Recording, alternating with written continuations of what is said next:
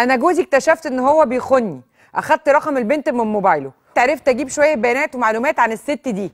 ووصلت لجوزها متجوزة. جوزها بيخونها مع واحدة متجوزة. وكلمت جوزها واديت له عنوان شغل جوزي واسم جوزي بالكامل ورقم تليفونه. وقلت له إن في بين مراتك وجوزي علاقة وأنا متاكده راح الراجل لجوزي وضربه حتة علقة في الشغل هايلة وتقريبا طلق مراته. كل ده وجوزي ما يعرفش إنه أنا عرفت أصلا إنه بيخوني أو أنا السبب في ده. آه وأنا قلت أسيبه علشان خاطر ابني وكمان ما عنديش مكان أروحه. أبويا متوفي بس أعتقد كده إن أنا جبت حقي باللي أنا عملته. ده صح ولا غلط؟ ده إيه يا ست كل اللي انت عملتيه ده يا حبيبتي؟ ده مش انتقام ده انتقام الجبابرة.